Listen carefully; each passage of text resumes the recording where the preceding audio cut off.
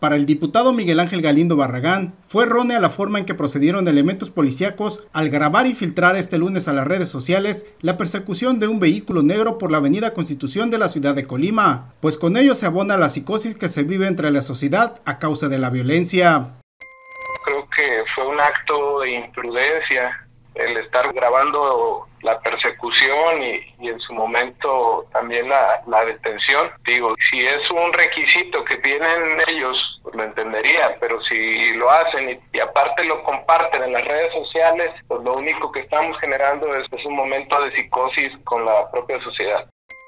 Este lunes se dispersó en forma inmediata en las redes sociales un video de una persecución por parte de elementos policíacos. En este se observa que otra patrulla intercepta un vehículo negro que transita a alta velocidad por la avenida Constitución de la ciudad de Colima. Entre gritos, el policía que graba abre la puerta del copiloto y aparece una mujer y un hombre totalmente ensangrentado.